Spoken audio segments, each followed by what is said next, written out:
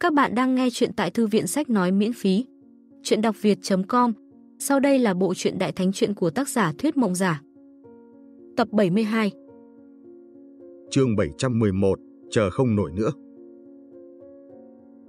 Sau một phen triển miên, hai người ôm nhau nằm nói chuyện.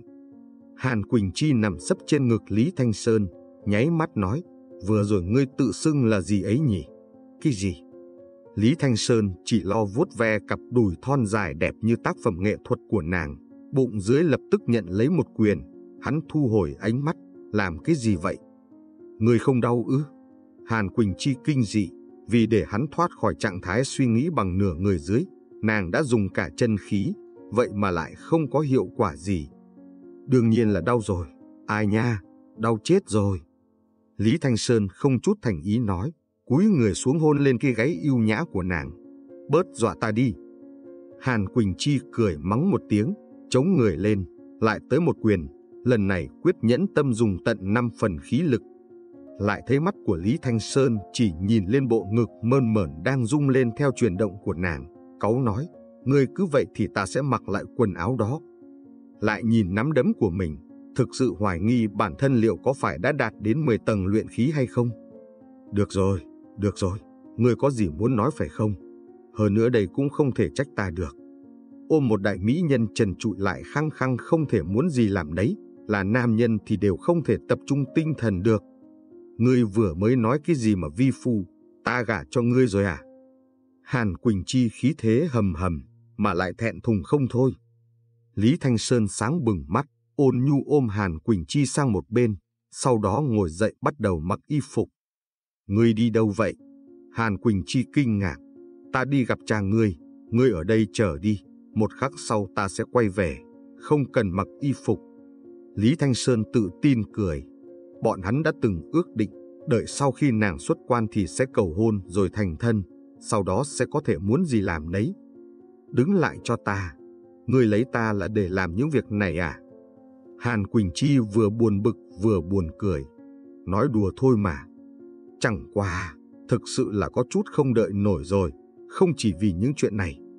Lý Thanh Sơn nắm chặt tay của nàng, mỉm cười nói. Nàng không phải là nữ tử đẹp nhất mà hắn gặp qua, cũng không phải ôn nhu nhất, cường đại nhất, nhưng lại là người đối tốt với hắn nhất. Nếu chỉ là muốn thỏa mãn dục vọng, thì lại quá giản đơn rồi. Bất kể là vân vũ lâu trên mặt đất hay là dạ du nhân dưới lòng đất, đều có thể để hắn muốn gì làm đấy. Nhưng mà bất kể là nữ tử nào đều không thể thay thế địa vị của nàng trong lòng hắn, cố nhạn ảnh cũng không được. Hắn không phải loại người không biết thỏa mãn, nguyện có được tấm chân tình của người, bạc đầu không rời xa. Thời ấy khắc ấy, không hề do dự mà muốn lấy nàng làm vợ. Hàn Quỳnh Chi đã mê mẩn cả tinh thần, nhẹ nhẹ ôm lấy hắn, tối nay cha ta sẽ ở trong phủ, để chúc mừng ta. Đến cùng là ai gấp gáp đây? Lý Thanh Sơn cười nói lại ăn ngay một quyền của nàng. Lần này Lý Thanh Sơn không chịu yếu thế nữa, bàn tay bóp một phát vỗ lên bờ mông căng tròn nảy nở của nàng, lập tức để lại một vết đỏ ửng lên, tỏ rõ uy thế của trượng phu. Hàn Quỳnh Chi kêu lên một tiếng đau đớn, liền muốn báo thù lại ngay, lại bị Lý Thanh Sơn kéo vào rồi lại quấn lấy nhau. 70 dặm ngoài Thanh Hà Phủ, có một ngọn núi tên là Hồ Khiêu. Hồ Khiêu Sơn không tính là cao, chỉ cỡ trăm trượng, nhưng diện tích rộng lớn, có cỡ vài ngàn mẫu đất. Dốc núi bằng phẳng tựa như lưng hồ gánh lên vô số tòa đình đài lầu các, chính là nơi Hàn Phủ tọa lạc. Bức tường cao 10 trượng chia Hàn Phủ ra thành nội thành và ngoại thành, lầu các san sát nhau, phòng bị nghiêm ngặt, giống là một tòa pháo đài, trong màn đêm vẫn lửa đèn sáng trưng. Trên trăm bậc cầu thang là một cổng thành nguy nga, trên tấm biển cao cao để ba chữ lớn phủ tướng quân. Đặt trước cổng không phải là thạch sư, mà là một đôi bạch ngọc hổ, nằm trên thạch tọa, sống động như thật, như là vật sống, nhìn chằm chằm đánh giá người lạ ở xa xa. Hổ là tượng trưng của binh gia, binh phù thống lĩnh đại quân đúc thành hổ hình, gọi là hồ phù. Mà bạch hổ thuộc kim, còn là chiến thần, sát phạt chi thần. Đây chính là nhà của ngươi à? Lý Thanh Sơn ngẩng đầu lên, cảm thán gia nghiệp to lớn của Hàn gia. Sao? Đi theo ta là ngươi đã kiếm được lời rồi đó. Ta lời ngươi là đủ rồi, những thứ khác ta cũng không thèm. Hừ, khẩu khí thật lớn, ai không biết còn tưởng rằng ngươi đã trúc cơ rồi đấy. Hàn Quỳnh Chi liếc hắn một cái, nhưng lại ưa nhất sự tự tin cuồng vọng này của hắn. So với những kẻ kết thân muốn đeo bám thế lực của Hàn gia kia, hào khí nam nhi thế này mới là tình yêu đích thực của nàng. Đột nhiên có chút căng thẳng. Lý Thanh Sơn từ trong bách bảo nàng lấy lễ vật ra, thở ra một hơi. Lễ vật này cũng là do Hàn Quỳnh Chi chuẩn bị từ trước, nhằm vào sở thích của Hàn lão nhạc phụ, không nhẹ không nặng, vừa thích hợp. Lý Thanh Sơn không nhịn được lại muốn trêu đùa mấy câu quả nhiên là không đợi được nữa, trong lòng lại cảm động với phần tình ý này. Các bạn đang nghe chuyện Đại Thánh truyện của tác giả Thuyết Mộng Giả tại Thư viện Sách Nói miễn phí, chuyện đọc việt.com Chương 712, Địch Tập Ngươi mà cũng căng thẳng ư? Hàn Quỳnh Chi có chút hiếu kỳ, còn không phải là vì ngươi. Quỳnh Chi à, nếu lão cha của ngươi không đồng ý thì làm thế nào? Đây không phải là nghĩ lung tung, mà là Lý Thanh Sơn ân ẩn có một dự cảm. Tin tức phức tạp trong mai rùa đã chỉ ra một dấu hiệu nào đó, lần này sẽ không thuận lợi như tưởng tượng. Sẽ không phản đối đâu. Hàn Quỳnh Chi tràn đầy tự tin, Hàn An Quân không có bất kỳ lý do nào để không vừa lòng, nhiều năm như vậy. Nàng chưa từng thấy cha vừa lòng với ai thế này, dù là vì Hàn ra mà lo lắng, cũng sẽ đồng ý thôi. Nếu thật sự không đồng ý thì sao? Lý Thanh Sơn trêu đùa, nếu hắn không đồng ý, ta sẽ cùng ngươi bỏ trốn. Hàn Quỳnh Chi nhìn Lý Thanh Sơn, ánh mắt sáng rực, phần cảm tình này rừng rực như lửa, quyết không lùi bước. Cẩn thận bị ta bội bạc tình nghĩa. Trong lòng Lý Thanh Sơn nhu tình tựa nước, nữ tử như thế này ai có thể từ bỏ được cơ chứ? Vậy thì ta sẽ cùng ngươi đồng quy vu tận. Hàn Quỳnh Chi chừng hắn một cái. Keng keng keng, chen chen chen chen, thùng thùng thùng thùng thùng. Chính vào lúc này, chuông báo kêu dài, chiêng chống đánh lớn. Toàn bộ Hàn gia đều bị kinh động, tập hợp lại. Lý Thanh Sơn kinh ngạc nói, có chuyện gì vậy? Có ngoại địch xâm nhập. Hàn Quỳnh Chi không có chút bất ngờ nào, chỉ là bất lực phát cáu. Ở Hàn gia, loại diễn tập này thường xuyên xảy ra, tử đệ Hàn gia phòng thủ, Hàn gia quân dưới trướng Hàn An quân tấn công. Nàng không hề lạ lẫm gì với cảnh này, chỉ là không nghĩ tới lại xảy ra vào đêm nay. Ngoại địch kia sẽ không phải là ta chứ? Lý Thanh Sơn chỉ vào mặt mình, hắn sớm đã biết rằng vị nhạc phụ tương lại Hàn An quân này là một cuồng nhân chiến tranh tiêu chuẩn, bày ra cả một thế trận như thế này ra chẳng lẽ là khảo nghiệm con rể tương lai à? Trong nội phủ Hàn gia, trên người Hàn An quân khoác giáp trụ, tay cầm bảo kiếm, ngồi ở trước cửa chính điện như gặp đại địch. Lần này không giống như diễn tập bình thường, hổ bôn vệ sĩ đứng ngay hai bên, mặt mũi đều bị che đi dưới mũ giáp, đôi mắt nhìn thẳng phía trước. Bọn hắn không phải đệ tử Hàn gia bình thường, mà là quân đội thật sự được xưng là Hàn gia quân. Họ từng dưới sự chỉ huy của Hàn An quân thảo phạt yêu ma dị nhân, thảo phạt môn phái tả tu. Mỗi người đều là thân kinh trăm chiến, đứng im bất động liền có một loại khí tức nghiêm nghị lãnh khốc bộc ra. Lần này, vì Lý Thanh Sơn, Hàn An quân lại đồng thời tập hợp hai lực lượng là tử đệ Hàn Gia và Hàn Gia quân. Hàn Thiết Y tay cầm trường thương, một thân giáp bạc sáng bóng, mày kiếm mắt sáng trông càng tuấn Mỹ anh Vũ. Truyền lệnh của ta xuống, cho dù sống hay chết cũng phải ngăn hắn lại. Hàn An quân hờ hững mở miệng, giống như người đang đi vào không phải là con rể mà là quân địch thật sự. Vâng, Hàn Thiết Y lĩnh mệnh, dẫn quân đi. Tiếng giày sắt rầm rập, tiếng giáp trụ va chạm, ầm ầm vang dậy, chỉnh tề như một, hợp thành một dòng nước lũ sắt thép, cuồn cuộn mà đi. Đừng, là bọn ta. Hàn Quỳnh Chi nắm chặt tay của hắn. Lý Thanh Sơn trong lòng cảm động, nắm chặt tay của nàng. Từ hôm nay trở đi lại có một người có thể kề vai chiến đấu với hắn.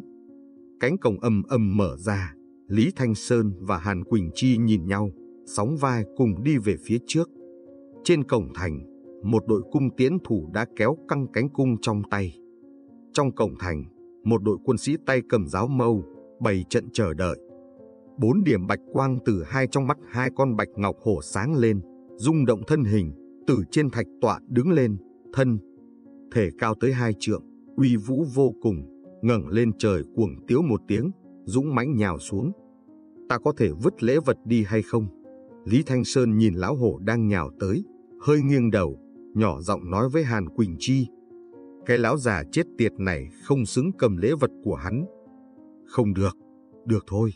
Lý Thanh Sơn lắc mình xuyên qua hai con bạch hổ. Thế tấn công của bạch hổ vẫn không thuyên giảm, chúng nhắm mục tiêu vào Hàn Quỳnh Chi. Chúng nó cũng không phải là vật sống, không có phân chia địch ta. Một khi bị chủ nhân điều khiển sẽ lập tức xé rách hết thảy trước mắt. Hàn Quỳnh Chi thi triển pháp quyết, cũng không thèm nhìn bạch hổ đang nhào tới. Mắt thấy cuồng phong thổi bay tóc dài, móng vuốt sắc bén quở qua trước mặt lại miễn cưỡng dừng lại. Lý Thanh Sơn mở hai tay ra, bắt lấy hai cái đuôi hổ, bạch hổ gào thét gầm gừ, dương nanh múa vuốt, nhưng không thể tiến vào thêm được tấc nào nữa. Chúng bèn xoay người lại để cắn Lý Thanh Sơn. Lý Thanh Sơn hét lớn một tiếng, thân hình chuyển động nhanh như con quay, hai con đuôi hổ bị quăng thành thẳng tắp. Sau đó hắn lại đem hai con hổ bạch ngọc nặng tới ngàn cân bị ném bay lên, ném ra ngoài mấy chục trượng, ầm ầm một tiếng, chúng nện thành hai cái hố sâu. Thần lực thật lợi hại, khó trách hắn lại dám đến Hàn gia cầu thân. Chiêu thức ấy kinh động đến độ khiến tất cả đệ tử Hàn gia ở trên lầu đều lộ vẻ xúc động, họ vội ra tay, vạn tiến đồng loạt bắn ra. Pặc pặc pặc, tiếng dây cung vang lên như tiếng đá nứt. Vụt vụt vèo vèo, loạn tiễn dày như mây đen. Liệt diễm hỏa điểu. Hàn Quỳnh Chi nói một tiếng. Các bạn đang nghe chuyện Đại Thánh Chuyện của tác giả Thuyết Mộng Giả tại Thư viện Sách Nói miễn phí. Chuyện đọc việt.com Chương 713 Con rể đến không thể cản Trước mắt Lý Thanh Sơn chợt ảm đạm nhưng cũng là sáng ngời. Một con hỏa điểu trao liệng trên không trung, vươn ra hỏa rực rộng mười trượng xua tan mây đen. Xông lên cửa lâu, sầm sập hóa thành một mảnh liệt hỏa, thiêu nóng đến độ khiến nhóm cung thủ liên tục lui về phía sau, tan rã không thành quân. Đây chính là nhà ngươi. Lý Thanh Sơn nhìn lại. Hừ, loại gia đình như này còn chẳng bằng không có. Dưới cửa lầu tối như bưng, gần trăm giáp sĩ cầm trường thương trong tay, xếp thành phương trận, sát khí đằng đằng. Tới đây, cảnh giác, một lão giả luyện khí tầng 8 để dâu chữ bát, tiếng giống như sấm, trường thương chĩa lên chỉ thẳng trước cửa. Có hai bóng người, chính là Lý Thanh Sơn và Hàn Quỳnh Chi chậm chậm đi tới, cứ như một đôi tình nhân đang đi tản bộ. Hai người còn vừa đi vừa thì thầm nói chuyện. Đây thật sự chỉ là gác cổng thôi à? Lý Thanh Sơn nhìn thấy trận thế trước mắt thì có hơi sợ hãi. Cái gọi là gác cổng cũng chính là lão đại gia được xưng là trông cửa. Hắn cũng chưa từng thấy qua người gác cổng nào có khí thế như vậy, tu vi cao cường như vậy. Bình thường chúng ta gọi là môn lâu quân, tổng cộng có 8 chi, phân ra. Giữ 8 cửa, thống soái là môn lâu bách phu trưởng. Hàn Quỳnh Chi cười giải thích. Tiểu thư, việc này không liên quan đến ngươi, ngươi mau lui ra đi, chớ làm ngươi bị thương. Tiểu tử, nếu có gan thì tự mình xông vào đây, làm việc mà dựa vào nữ nhân thì còn gì là nam nhân nữa. Để lão phu đến dạy ngươi, cái gì gọi là si tâm vọng tưởng. Môn lầu bách phu trưởng quát, trường thương nhấc lên. Gió mạnh sao động khiến tròn dâu phất phơ, tinh thần quắc thước không hề lộ chút giả cả nào hết. Bách phu trưởng, đây vốn là chuyện của hai người chúng ta, nếu muốn một mình xông vào thì còn ý nghĩa gì nữa. Nếu là ngày thường, Hàn Quỳnh Chi còn gọi một tiếng ra ra, nhưng hôm nay lại như hai quân đối địch, không niệm tư tình, chỉ lấy chức quân tương xứng. Làm sao vậy? Hàn Quỳnh Chi chợt cảm thấy ánh mắt Lý Thanh Sơn lấp lánh nhìn mình, nàng tự sờ lên mặt. Không có gì, chỉ là cảm thấy hôm nay ngươi đẹp cực kỳ. Lúc này rồi còn nói nhảm. Sắc mặt Hàn Quỳnh Chi ửng đỏ, đang muốn tiến lên trước, Lý Thanh Sơn chợt giữ vai nàng lại, nơi này giao cho ta đi. Người nghỉ ngơi khôi phục chút khí lực, ta cũng muốn dạy dỗ vị môn lâu bách phu trưởng này, cái gì gọi là con rể tới cửa, thế không thể cản.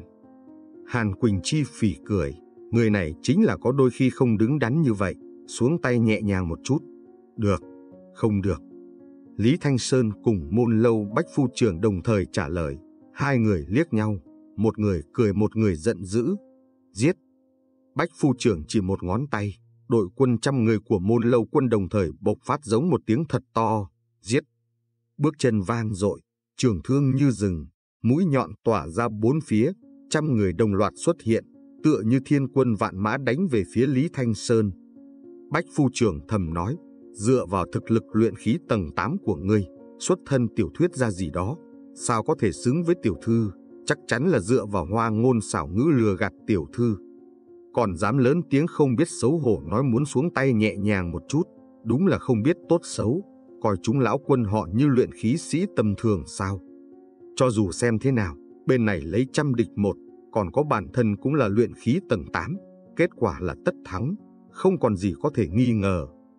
Ầm ầm, một tiếng nổ lớn làm gián đoạn suy nghĩ của Bách Phu Trưởng. Trong cửa động trước mắt, các giáp sĩ kinh hãi bay lên, hung hăng đập vào vách tường cửa động, từ xa đến gần, tựa như một con quái thú đang chạy như điên tới. Đạp lãng thức, bọt biển dâng lên dưới chân Lý Thanh Sơn, hợp thân lao về phía trước như mũi tên rời cung, xông thẳng vào quân trận. Toàn qua thức, tay phải của Lý Thanh Sơn dập dờn sóng nước, cả người tựa như một mũi khoan thật lớn khoan về phía trước. Những giáp sĩ bị đụng tới lập tức bị bắn bay ra ngoài, cuốn vào trường thương, chia năm xẻ bảy, đi tới đâu, người ngựa ngựa lật đến đó. Hắn sỏ xuyên qua quân trận chỉ trong giây lát, đi tới trước mặt. Bách phu trưởng, đại gia tiếp chiều. Bách phu trưởng còn đang sừng sốt đôi chút, nghĩ thế nào cũng không ngờ được rằng môn lâu quân của hắn lại không chịu nổi một kích như thế. Nhưng sao hắn có thể chịu yếu thế? Hét lớn một tiếng, trường thương quang hoa bắn ra bốn phía, gạch dưới chân vỡ vụn, hai tay cầm thương, một kích dồn toàn lực đâm hướng về phía Lý Thanh Sơn. Trường thương cùng mũi khoan va chạm kịch liệt, thanh âm tựa như cưa điện cắt vào kim loại, nhưng chỉ kéo dài trong nháy mắt, trường thương vỡ vụn. Bách phu trưởng kinh hãi lui về phía sau, hai con hổ trong tay cũng bị xé nát, đầu khoan sóng nước lấy thế con rể tới cửa thế không thể cản mà khoan vào người hắn. Chân khí hộ thể yếu ớt như tờ giấy, giáp trụ sáng loáng bị chia năm xẻ bảy. Mệnh ta vậy là hết. Bách phu trưởng thầm thở dài, không nghĩ tới hắn chinh chiến cả một đời nhưng lại chết ở chỗ này. Uy lực đáng sợ của chiêu chiến kỹ này hắn đã hiểu trong khoảnh khắc giao tranh, thân thể huyết nhục khó mà ngăn cản được.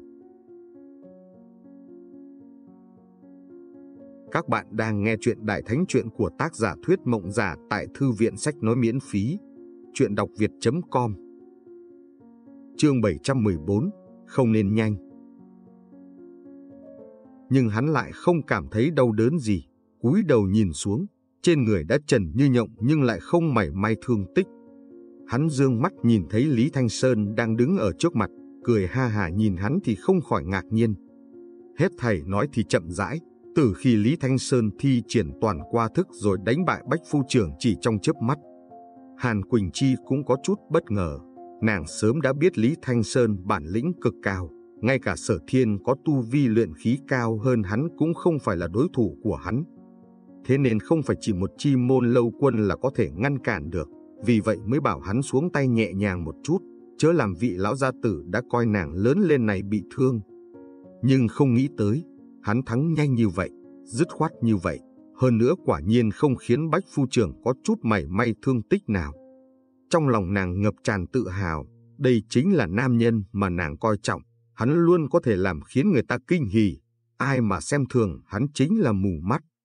Ta thua rồi, xem như tiểu tử người có chút bản lĩnh, cửa kế tiếp sẽ không đơn giản như vậy, ta khuyên ngươi nên rút lui sớm đi, nếu không cẩn thận chỉ e mất cả mạng.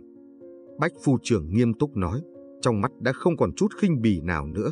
Có thể phá vỡ nhạn trận cũng chưa được xem là quá đặc biệt, hắn cố gắng cũng có thể làm được. Nhưng có thể xé rách quần áo toàn thân hắn nhưng lại không khiến hắn có chút thương tích nào chứng minh còn giữ lại dư lực rất lớn.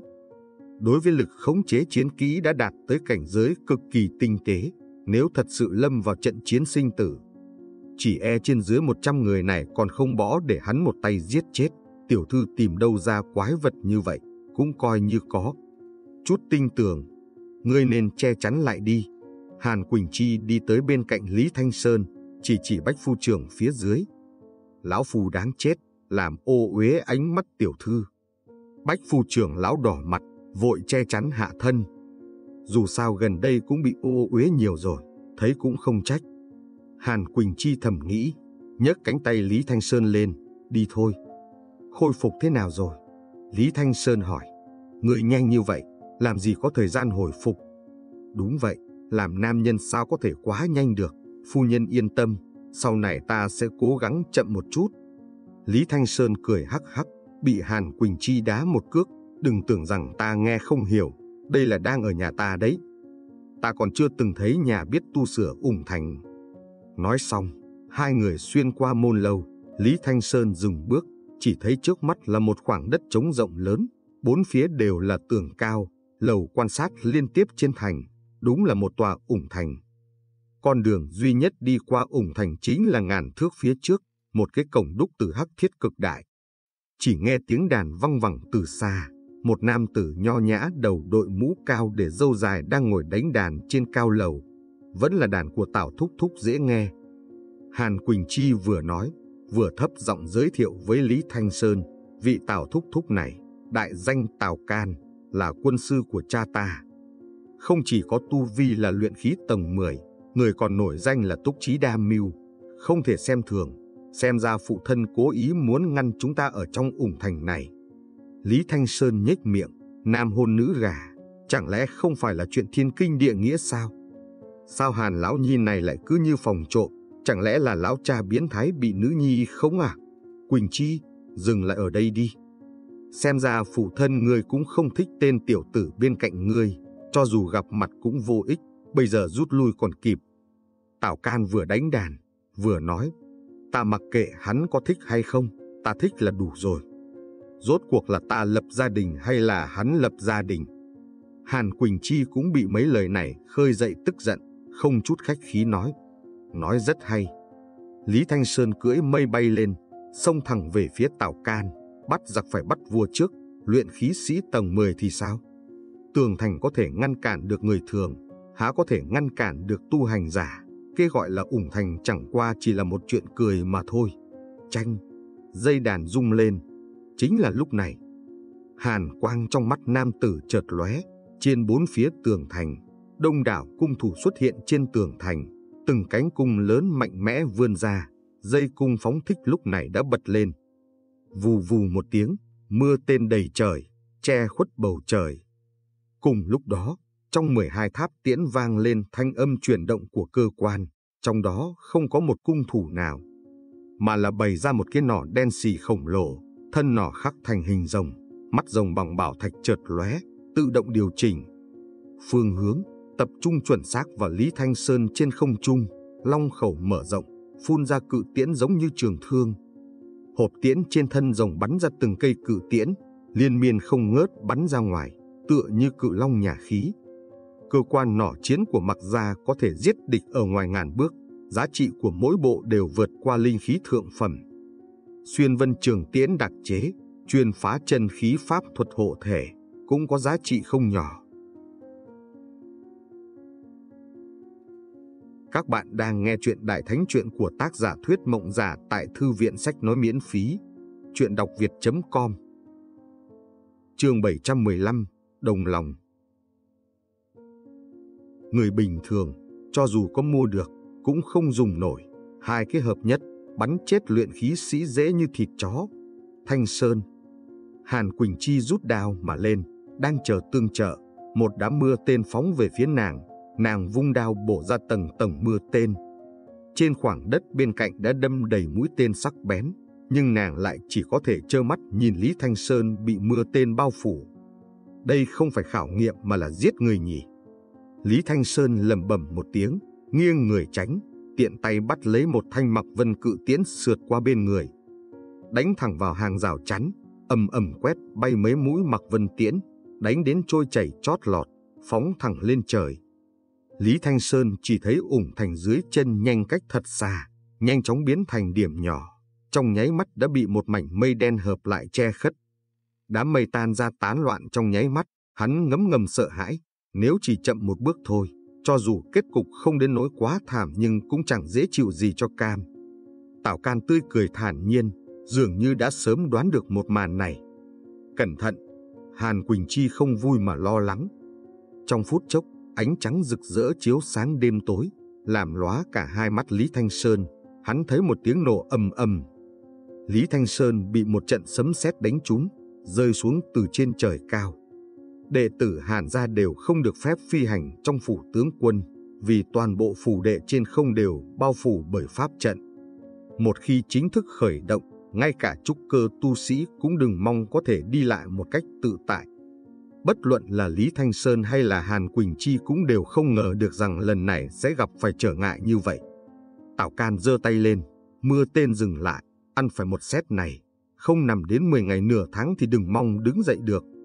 Tướng quân điều động nhiều nhân mã như vậy, đúng là quá đề cao tiểu tử này. Thanh Sơn, Thanh Sơn. Lý Thanh Sơn rơi vào lòng Hàn Quỳnh Chi, thấy vẻ mặt nàng ân cần lại nóng giận, ta không sao, xem ra không nghiêm túc một chút là không được mà. Lý Thanh Sơn xoay người đứng lên, so với lôi kiếp, loại lôi kích này quả thực giống như gãi ngứa. vần còn chấp mê bất ngộ sao? Người không thể qua được ủng thành, đến một phần mười cơ hội cũng không có, nếu còn tiếp tục cũng chỉ làm tăng thương thế mà thôi. Tào can nhíu mày, không ngờ thân thể. Người này cường hãn như vậy, ngay cả thiên lôi do pháp trận phát ra cũng có thể chịu đựng được.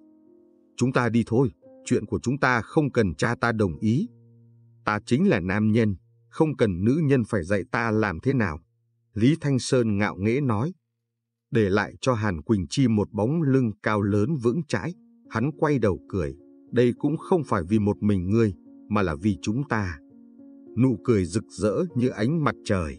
Hàn Quỳnh Chi nhất thời nói không nên lời, đứng dậy, cắn răng nói, nói cái gì to tát chứ, ngươi muốn đi đâu, ta theo người đi đó. Lý Thanh Sơn mỉm cười, chỉ vào đầu tường, họ Tào, vừa rồi là do ta nhất thời sơ suất. Để cho ngươi đắc ý một chút, ta sẽ đánh bại ngươi ngay bây giờ. Nhãi con, miệng phun cuồng ngôn, phóng tên đi. Trận này giao cho ta đi nam nhân thối, cho ngươi mở mang sự lợi hại của nữ nhân. Lý Thanh Sơn đang muốn tiến lên, Hàn Quỳnh Chi xẹt qua bên cạnh hắn, hắn liền cười, đứng lại. 12 chiếc nỏ chiến cùng tập trung vào Hàn Quỳnh Chi, nhưng lập tức có 5 chiếc để lạc mất thân ảnh của nàng. Thì ra nàng không đánh thẳng vào Tào Can, mà công kích theo góc chết của nỏ chiến, bay về phía tường thành bên cạnh. Vù vù vèo vèo, cự tiễn bắn tới, Hàn Quỳnh Chi đầu cũng không quay lại. Nhảy vọt lên trên tường thành, cứ như đi trên mặt đất bằng phẳng. Cự tiễn lướt qua người, cắm thật sâu vào tường thành. Là đại tiểu thư của Hàn gia, nàng cực kỳ am hiểu về phán định cùng phương thức tấn công của đống nỏ chiến này. Nàng nhảy lên tường thành rồi lao vào một toàn tiễn tháp. Trước mặt là một cái nỏ chiến, mắt rồng bảo thạch chợt lóe, nàng tựa như nhược liễu đón gió, thuận thế ngửa ra, cự tiễn lướt qua chóc mũi gào thét mà qua. Thân hình nàng xoay chuyển, đi tới bên sườn của nỏ chiến, tiện tay vỗ một cái, mắt rồng nhanh chóng trở nên ảm đạm, đình chỉ động tác. Hai bên tiễn tháp, giáp sĩ dũng cảm xông tới, cửa tháp bất ngờ mở ra, sóng nhiệt đập vào mặt. Chỉ thấy chân khí toàn thân Hàn Quỳnh Chi hóa thành liệt hỏa hừng hực, lửa đỏ một mảnh, nói nhẹ một tiếng, tránh ra cho ta. Tựa như một đoàn lưu hỏa nhảy nhót kéo ra chiếc đuôi lửa thật dài, gào thét xông về phía một tòa tiễn tháp khác, lưu lại một vết cháy trên đầu thành. Trong nháy mắt, nàng xâm lược như lửa, vòng quanh thành một vòng, tắt tất cả nỏ chiến rồi dừng lại trước mặt Tào Can. Nàng hơi thở dốc, hỏa thế trên người yếu bớt, tuy rằng tính tàn phá của bính hỏa chân khí rất mạnh, nhưng tiêu hao cũng cực nhanh. Tiểu thư, người đã trưởng thành rồi. Tảo Can thở dài một tiếng, ngón tay mau chóng gảy lên, tiếng đàn hỗn loạn, từng luồng sóng âm hóa thành lưỡi dao sắc bén. Các bạn đang nghe chuyện Đại Thánh Chuyện của tác giả Thuyết Mộng Giả tại Thư viện Sách Nói miễn phí.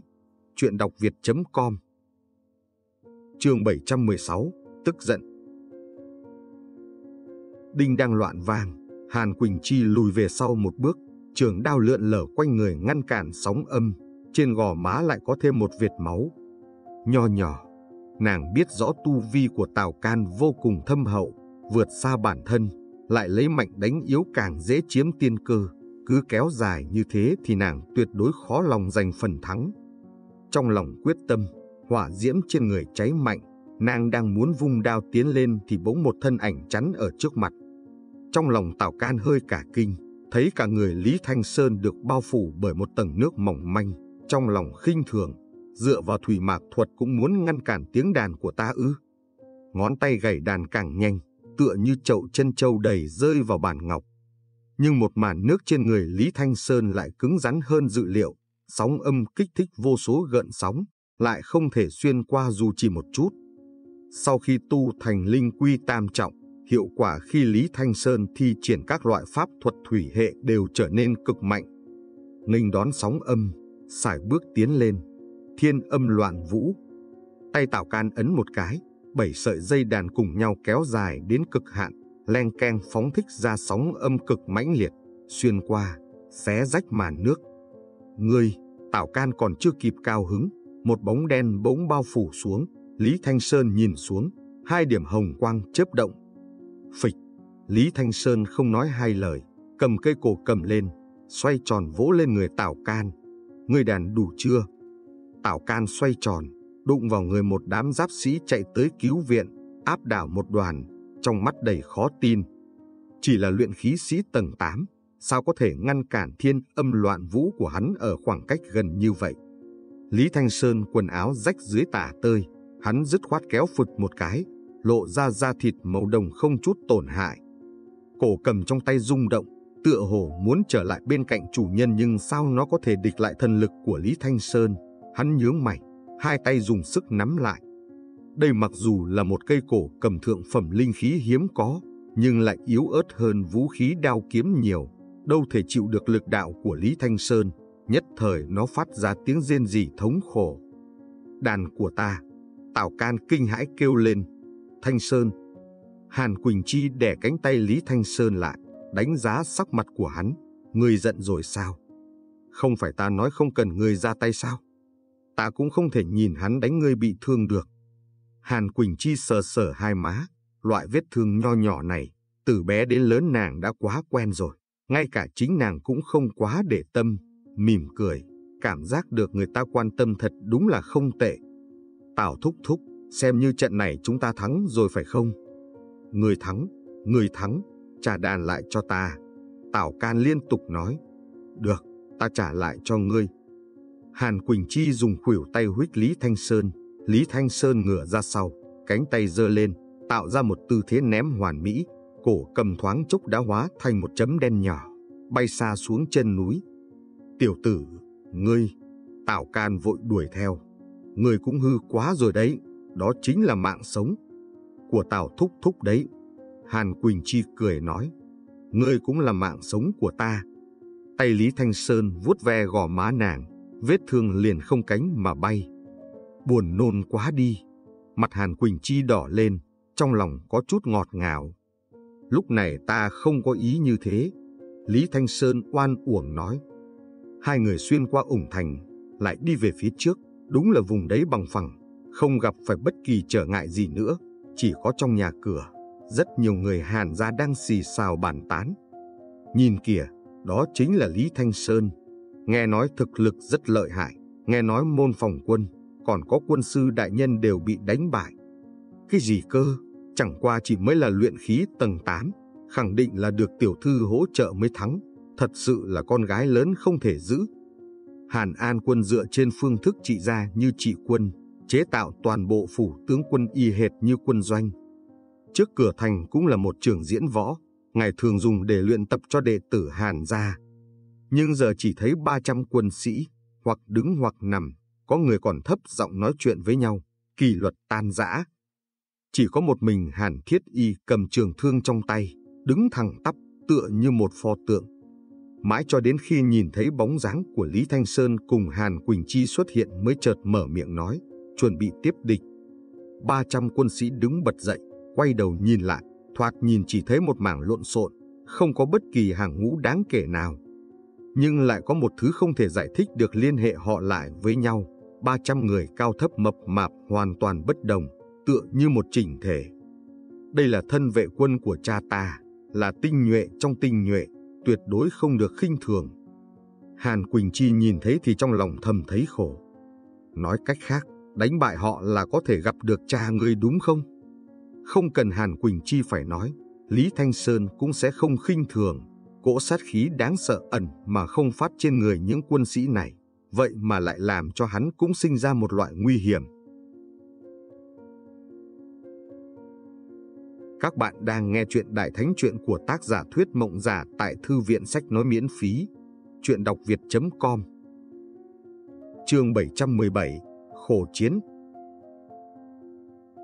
Nếu không thắng được, chúng ta nhất định phải nghĩ biện pháp nhanh chóng thông qua nơi này, đi thẳng vào nội thành. Lý Thanh Sơn cất bước tiến lên, lớn tiếng cười nói, tiểu cứu tử, nhìn thấy tỷ phu tương lai của ngươi còn không mau tới hành lễ sao?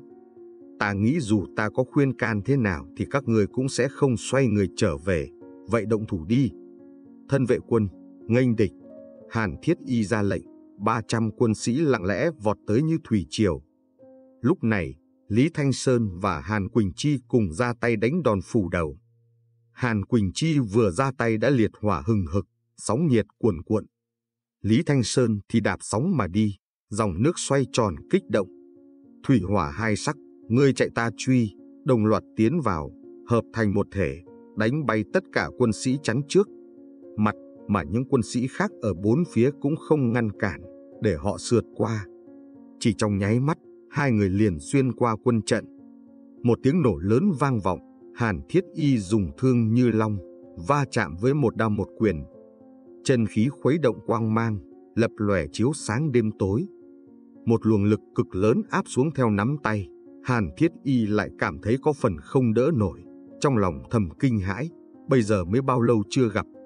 Lực lượng của Lý Thanh Sơn hắn đã trở nên mạnh hơn, tốc độ trở nên nhanh hơn, mơ hồ để lộ khí thế, khiến lòng người sợ hãi. Nếu đơn đả độc đấu, chỉ sợ đã không còn là đối thủ của hắn. Tốc độ tiến bộ bệnh này có thể nói là kỳ quái. Vì sao phụ thân phải cố ý ngăn cản đây? Suy nghĩ này chỉ chợt lóe lên. Lý Thanh Sơn và Hàn Quỳnh Chi đồng thanh hét lên, dồn toàn bộ lực lượng chân khí vào. Hàn Quỳnh Chi bị ép lui về phía sau, thẳng đến trước cửa thành, lui không thể lùi, chợt bỏ trường thương, hai quyền đánh thẳng vào ngực hai người, đồng thời quát, hãm địch. Lý Thanh Sơn vung tay đỡ, thân hình chỉ vụt lên một cái, Hàn Quỳnh Chi lại bay ra ngoài, nhìn lại chỉ thấy 300 quân sĩ không biết đã kết thành bản xà binh trận tự khi nào. Một con rắn lớn, thân rắn cuộn tròn, đang cuốn Hàn Quỳnh Chi vào trong trận, nàng hô to, đừng quan tâm đến ta, ngươi đi đi. Đi gặp cha ta rồi nói rõ ràng với ông ấy. Lý Thanh Sơn cũng không chút do dự quay người đánh vào trong trận, đi tới bên cạnh Hàn Quỳnh Chi. Hai người lưng tựa lưng, bốn phía đều là quân địch. Hàn Quỳnh Chi nói, đồ ngốc, sao ngươi còn quay lại? Nếu để ta một mình tới đó thì còn có ý nghĩa gì? Khổ chiến, trận thế không ngừng thay đổi, bàn xả trận, hãm hổ trận, khốn long trận, trong biến hóa không có một tia sơ hở. Trận pháp tương tự nhưng để so với đệ tử binh gia thì quả thực là một trời một vực. 300 người trầm mặc huy động thương mâu, Lý Thanh Sơn giống giận sông lên, cũng không thể xông ra khỏi vòng vây. Còn có Hàn Thiết Y không ngừng chỉ huy lược trận, nếu là một mình, có lẽ còn có vài phần cơ hội, nhưng hai người thì không cách nào tiến thêm một bước. Chân khí của Hàn Quỳnh Chi chớp mắt đã hao hết, mồ hôi như mưa, dùng sức một mình đối kháng binh trận, đây vốn không phải chuyện luyện khí sĩ bình thường có thể làm được. Mắt thấy một loạt trường mâu đang đâm tới, lại vô lực ngăn trở, thắt lưng căng thẳng, nàng bị Lý Thanh Sơn kéo về phía sau. Ôm chặt ta, Lý Thanh Sơn cõng nàng lên lưng, tình huống càng nguy cấp. Hàn Quỳnh Chi nằm trên lưng hắn, chợt cảm thấy kình phong đánh úp tới từ phía sau, cơ thể hắn mau chóng xoay ngược lại, trường thương ba nhánh nhanh chóng đâm vào trên người hắn. Thanh Sơn, Lý Thanh Sơn chặt đứt thân thương, rút trường thương ra, chỉ thấy mũi nhọn nhuộm đỏ. Trường thương dung hợp lực lượng của cả đại trận, ngay cả ngưu ma luyện bỉ cũng khó khăn ngăn cản, không bị đâm thủng đã là may mắn. Các quân sĩ thấy tình. Hình này lại không hẹn mà cùng chuyển thế công toàn về phía Hàn Quỳnh Chi, khiến Lý Thanh Sơn mắng to đê tiện trong lòng. Thả ta xuống. Hàn Quỳnh Chi trong lòng đau đớn, đây chính là thân vệ quân của phụ thân, chỉ cần ra lệnh một tiếng, bất luận là đối mặt với kẻ địch thế nào đều sẽ tuyệt đối không nương tay. Đừng lộn xộn. Hàn Quỳnh Chi dãy dụa nhưng lại bị Lý Thanh Sơn trở tay siết chặt. Đám người này đúng là ra đòn chí mạng, căn bản không coi Hàn Quỳnh Chi là tiểu thư gì hết. Hàn Quỳnh Chi lập tức không dám lộn xộn, vì nàng vừa động lại khiến trên người Lý Thanh Sơn có thêm mấy vết thương. Nàng xít sao dán chặt vào lưng hắn, hốc mắt không khỏi đỏ lên, nỉ non nói, Thanh Sơn. Lý Thanh Sơn cầm đoạn qua trong tay, chống đỡ cơ thể, chân khí cũng gần như hao kiệt, trên người lại trồng chất vết thương. Hàn Quỳnh Chi phía sau lại không tổn hao chút nào.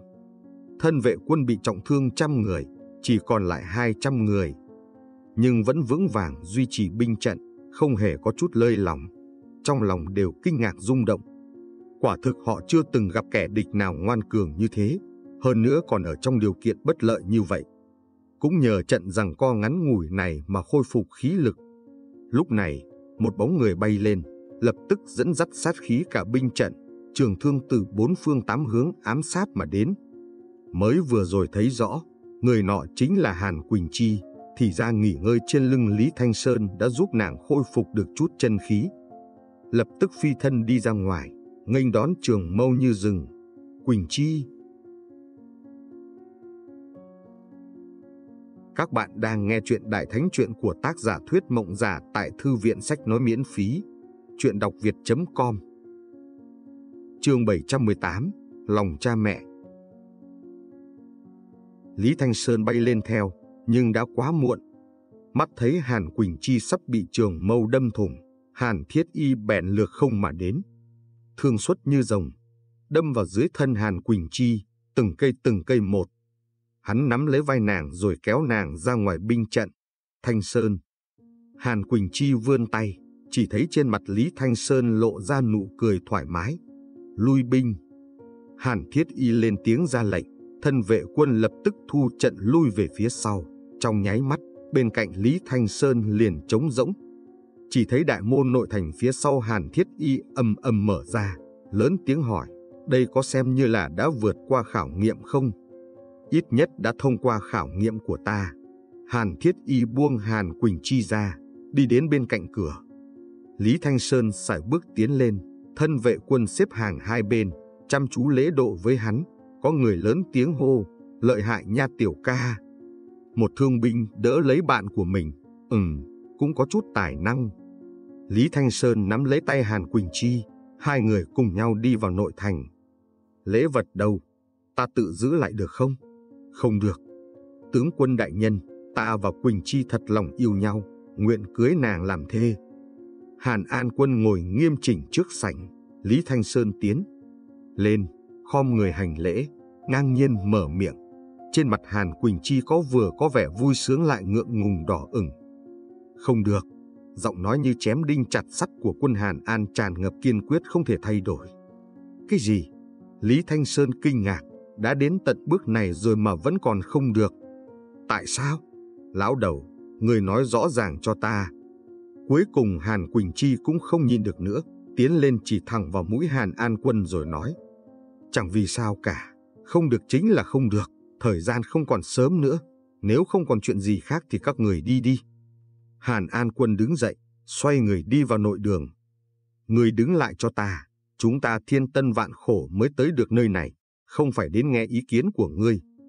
Hàn Quỳnh Chi đoạt lễ vật từ trong tay Lý Thanh Sơn, hung hăng quẳng xuống trước mặt Hàn An Quân, tủi hờn đến phát khóc. Nàng chưa từng thấy phụ thân vô lý như vậy, kéo tay Lý Thanh Sơn đoạt cửa mà đi. Lướt quá Hàn Thiết Y.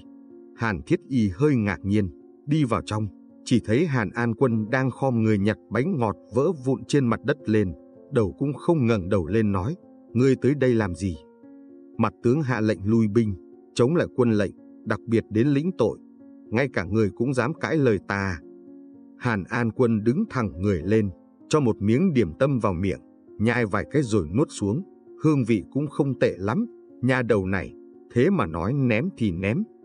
Tại sao phụ thân lại không đồng ý với họ? Hàn Thiết Y cúi đầu thật sâu, trong lòng vô cùng khó hiểu. Người cũng cảm thấy ta làm không hợp tình hợp lý ư? cũng không phải việc nào ta làm cũng đúng. Hàn Thiết Y ngạc nhiên ngẩng đầu lên, không thể tin lời này xuất phát từ trong miệng phụ thân. Hắn chỉ thấy Hàn An Quân hiếm thấy lộ ra một chút tươi cười. Ta một lòng muốn bồi dưỡng các ngươi thành tài, không ngờ lại trở thành chướng ngại trong lòng các ngươi, ngay cả nha đầu kia. Nhìn thì như tùy tâm sở dục, nhưng tìm được nam nhân, còn phải ngoan ngoãn đưa đến cửa xin ta đồng ý. Sao phải đợi ta đồng ý? Thiết y, người cuối cùng phải hiểu được, trước khi tính đến tướng binh phụ tử, chúng ta phải xem là tu hành giả trước đã. Hàn Thiết Y có chút đăm chiêu rời đi, Hàn An Quân trở lại nội đường, Tảo Can đang âu yếm ôm đàn cổ, cẩn thận điều âm. Tướng quân, con rể của người xuống tay tàn nhẫn quá, thiếu chút nữa đã làm gãy cây đàn của ta. Nhưng mà quả thực thực lực cũng rất cao, sao không chiêu mộ hắn vào trong hàn môn, tương lai nhất định sẽ là một trợ thủ đắc lực. Ngài một lòng cự tuyệt, không phải chỉ là vì giáo huấn tiểu thư công tử đâu nhỉ? Cái gì cũng không gạt được ngươi, tiểu tử kia quả thật không phải là người bình thường, nhưng tuyệt đối sẽ không khuất phục làm môn hạ của người khác. Trên đường tu hành, chỉ có đạo lữ chứ không có tình lữ, nếu không phải cùng chung chí hướng, sao có thể chịu đựng được trăm năm thăng trầm. Hôm nay vì tình mà tụ, ngày khác, tất vì tình mà tan, một danh phận phu thê, như mang gông trên mình. À, cái này cũng đúng, hai ngọn lửa tụ cùng một chỗ, nhìn như hừng hực, lại khó lâu dài. Với ý kiến của ta, có thể cố gắng được 3 năm năm, cũng đã coi như giỏi lắm rồi. Tâm tư này của ngài, tương lai tiểu thư nhất định sẽ hiểu được. Hai người ra khỏi phủ tướng quân, nhưng lại không trở về Bách Gia Kinh Viện, mà là đi tới một biệt viện của Hàn Quỳnh Chi ở Thanh Hà Phủ. Hàn Quỳnh Chi vẫn trầm mặc, Lý Thanh Sơn cũng không biết nên khuyên như thế nào mới tốt, có thể do tu vi của ta không đủ. Đợi ta tu hành thêm một thời gian nữa, phá thân vệ quân của cha ngươi, hắn cũng không có gì để nói. Vết thương của ngươi không quan trọng chứ. Cuối cùng Hàn Quỳnh Chi cũng mở miệng, không có gì đáng ngại. Cơ thể Lý Thanh Sơn vốn cường hãn, lại dùng mấy cái thủy liệu thuật, dĩ nhiên khôi phục như lúc ban đầu. Vậy bây giờ chúng ta thành thân luôn đi. Các bạn đang nghe chuyện Đại Thánh Chuyện của tác giả Thuyết Mộng Giả tại Thư viện Sách Nói miễn phí. Chuyện đọc việt.com Chương 719 Chỉ biết một bước Trong hồ sen bên ngoài mảnh, những bông hoa nở rộ được gió đêm đưa hương đánh úp khíu giác. Vẻ mặt Lý Thanh Sơn hơi kinh ngạc vì trông Hàn Quỳnh Chi lúc kiên quyết khá giống với Hàn An Quân, chỉ thấy đôi môi đỏ khép mở, lặp lại một lần nữa, Thanh Sơn, chúng ta thành thân đi. Người quyết định rồi. Lý Thanh Sơn ôm nàng vào lòng. Ừm. Hàn Quỳnh Chi gật đầu, dựa vào ngực hắn và nghe tiếng tim đập mạnh mẽ của hắn. Đây chính là âm thanh mà nàng vẫn luôn muốn lắng nghe. Nếu không thì cứ chờ thêm một thời gian đi. Chỉ cần chúng ta kiên trì rồi lại nhờ đệ đệ người nói vài lời hay thì có lẽ cha người cũng sẽ đồng ý. Lý Thanh Sơn hận không thể lập tức sống cùng với nàng.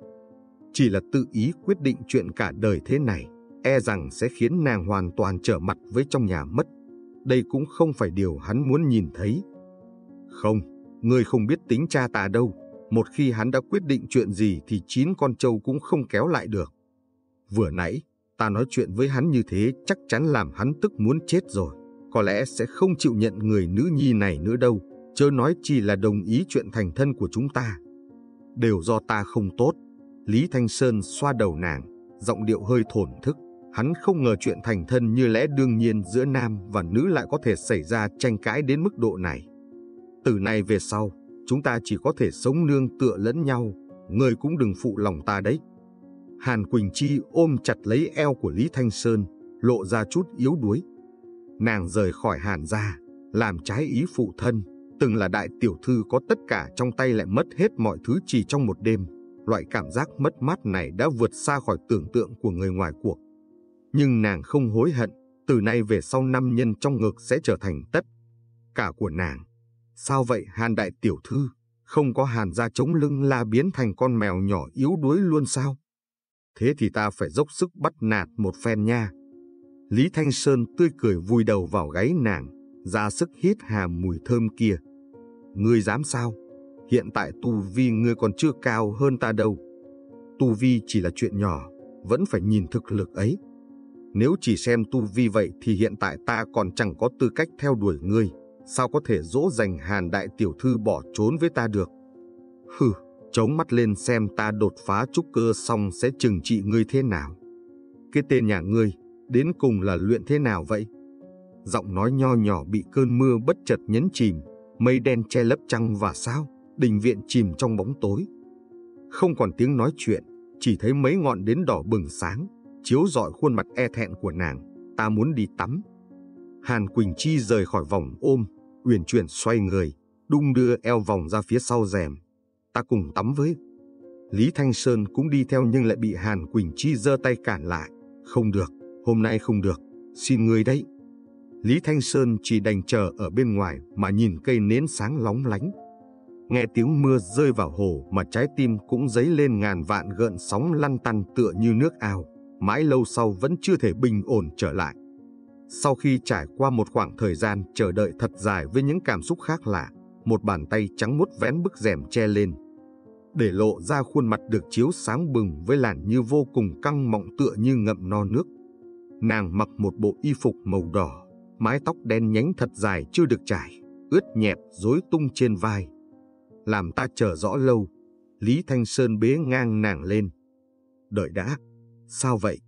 Hình như thành hôn có rất nhiều bước. Ta chỉ nhớ rõ một bước. Bước nào? Đưa vào động phòng.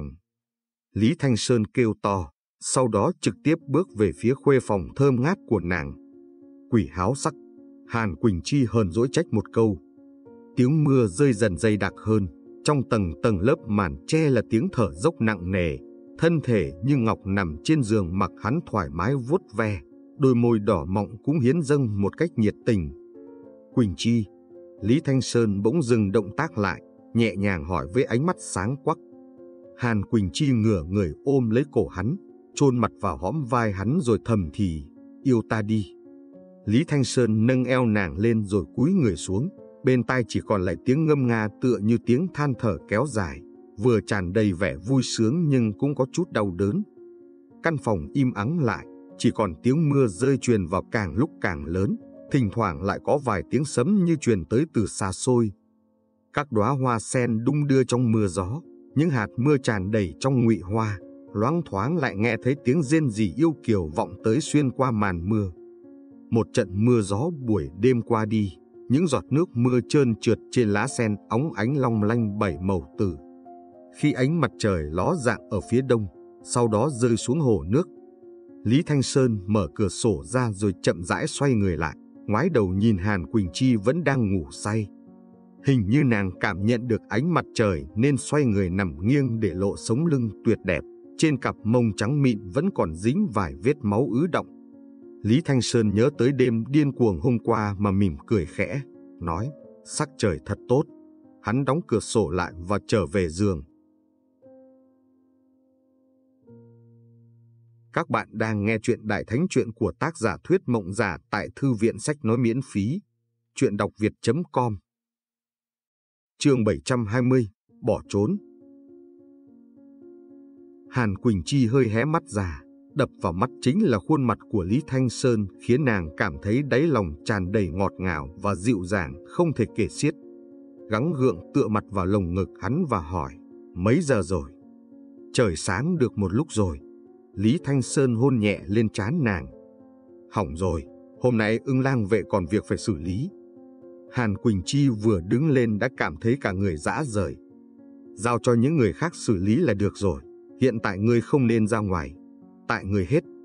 Mặt Hàn Quỳnh Chi nóng như lửa đốt, chỉ đành đánh nhẹ một cái lên lồng ngực hắn. Xấu hổ đến mức không dám nhớ lại đêm qua. Không ngờ rằng nàng cũng sẽ có lúc buông thả như thế. Được rồi, tại ta hết. Xin phu nhân đợi một lát để ta đi chuẩn bị đồ ăn. Ngươi nghỉ ngơi thêm một lúc đi. Nghỉ ngơi một lần nghỉ liền ba ngày. Hai người dính nhau như keo, không chịu chia lìa một giây nào. Trong mắt chỉ còn lại đối phương tựa như hoàn toàn quên hết những chuyện khác. Trong bách gia kinh viện, vì giáo thụ vẫn chưa đến nên trong lớp tràn ngập tiếng người trò chuyện. Một đám đệ tử trẻ tuổi có đủ cả nam lẫn nữ tụ lại thành cụm, sôi nổi nghị luận. Thật không? Ta cảm thấy hắn rất lợi hại, thế hiện tại sao rồi? hiện tại thì không biết, mấy ngày rồi không thấy hai người kia, nghe nói là bỏ trốn rồi. Ái trà, một chàng tiếng kinh ngạc vang lên, đặc biệt là mấy nữ đệ tử, mắt tỏa sáng đến nơi. Tử kiếm, người nghe kìa, lại là tên Lý Thanh Sơn kia. Ồ, trông sắc mặt người không được ổn lắm. Hoa thừa lộ dùng cùi trỏ va vào dư tử kiếm ở bên cạnh.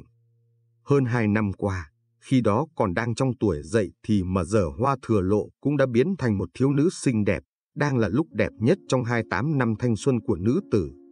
Lông mày như vầng trăng lưỡi liềm, đôi môi như được bôi chu sa cùng với làn da căng mướt, xinh đẹp và tươi trẻ không gì tả nổi. Khuôn mặt giống hoa thừa tán đến bảy tám phần tựa như đang chứng minh nếu gương mặt kia của hoa thừa tán ở trên thân thể của một nữ tử thì sẽ là dung mạo như thế nào. Trong bách gia kinh viện, nàng có danh hiệu là đệ nhất mỹ nhân, người theo đuổi xếp hàng dài. Lúc này, nàng đang ngồi cùng với dư tử kiếm, cực kỳ thu hút sự chú ý của mọi người. Hoa thừa lộ cũng chẳng xa lạ gì với. Cái tên Lý Thanh Sơn này, có điều hai năm không gặp nhau, cho dù từng có cảm xúc đặc biệt thì cũng đã bị cuộc sống đầy giấy đổi thay này hòa tan từ lâu. Giờ chỉ còn loáng thoáng nhớ hắn còn nợ mình một chuyện, có lẽ hắn đã quên mất rồi. À, không có gì, giáo thụ đến rồi. Dư tử kiếm sừng sốt liếc nàng một cái, sau đó chỉ tay lên bục giảng. Lớp học bỗng chốc yên tĩnh lại, hoa thừa lộ cũng quay đầu đi tập trung nghe giảng. Dư tử kiếm hơi nhíu mày, có lẽ hắn không phải nghiêu cự hiệp đâu. Trước khi trở về từ Thanh đẳng Sơn, Dư Sơ Cuồng cũng đã lặp đi lặp lại rằng Lý Thanh Sơn tuyệt đối không có chút dính líu gì đến nghiêu cự hiệp. Nhưng cho đến lúc này nàng mới đồng ý tin tưởng chuyện này, thầm thở phào một hơi. Nếu như Lý Thanh Sơn không phải ngưu cự hiệp thì chuyện kia cũng không liên quan đến nàng mấy, thậm chí nàng còn thấy hơi đau khổ thay hắn. Rõ ràng ý hợp tâm đầu mà lại không thể được gia đình bên đối phương đồng ý, thực sự là đáng thương. Nơi sâu trong rừng trúc, Tiểu An ngồi trước bậc thềm, tay chống má chờ đợi. Ngàn vì sao đầy trời, chỉ là tối nay hắn vẫn không trở về. Bởi vì Lưu Xuyên Phong bế quan còn Lý Thanh Sơn thì thường xuyên ra ngoài, cho nên Tôn Phúc Bách đã dẫn hai tiểu đệ tử kia đi theo. Vân Hư đảo lúc này thực sự đã không còn một bóng người nào, chỉ nghe tiếng gió thổi qua rừng trúc xào xạc vang vọng, tiếng lá trúc rơi là tả thành một lớp lót chảy trên con đường mòn. Khi nàng còn đang cảm thấy hơi mất mát thì chợt nghe thấy tiếng bước chân đạp nát lá rụng truyền đến. Tiểu An ngẩng đầu lên, chỉ thấy Lý Thanh Sơn đang bước nhanh tới với khuôn mặt tràn đầy vẻ tươi cười. Tiểu An, sao ngươi? Là ta đáng chết, thế mà lại quên không nói với ngươi, để ngươi chờ rõ lâu. Lý Thanh Sơn vỗ đầu mình một cái, giọng điệu đầy vẻ tự trách. Tiểu An lắc đầu một cái, không lâu lắm. Lý Thanh Sơn bế nàng lên, đặt ở trên đùi. Gần đây luyện niệm châu sao rồi? Nhất niệm có làm khó ngươi không? À đúng rồi, gần đây ta có một chuyện tốt. Chưa đợi Tiểu An đặt câu hỏi, hắn đã bắt đầu kể lể không ngớt. Vốn Tiểu An còn muốn khuyên hắn vài câu, nhưng thấy tình hình này thì thôi bỏ qua vậy, chỉ cần hắn vui vẻ là được. Lúc này, Hàn Quỳnh Chi cũng đã trở về Pháp gia và nói xin lỗi với Vương Phác Thực. Vương Phác Thực thấy khuôn mặt nàng ngập tràn sắc xuân và dáng dấp đầy hương vị nữ nhân thì cũng không trách nàng, chỉ nói, hời cho tên tiểu tử kia, ngày mai đừng quên đến ưng lang vệ. Vâng, thống lĩnh. Hàn Quỳnh Chi trở lại chỗ ở trên đảo, đập vào mắt là bóng người đang quanh quẩn ngoài cửa, thế là kinh ngạc bật thốt, thiết y. Một lúc sau thì sắc mặt nàng lại trở nên nghiêm túc, có phải phụ thân bảo người đến? Đúng. Hàn thiết y không nhiều lời, nhanh tay giao một đống linh thạch và đan dược cho Hàn Quỳnh Chi,